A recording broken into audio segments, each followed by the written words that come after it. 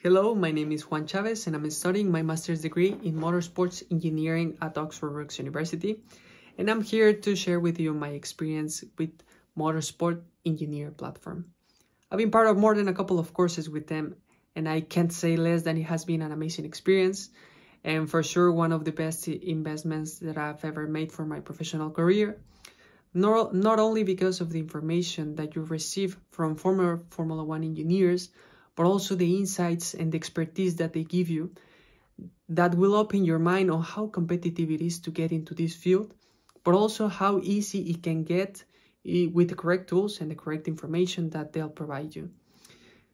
Also, this type of courses will help you to develop your network, to develop your CV, and to really feel like you're already a Formula One engineer or a motorsport engineer.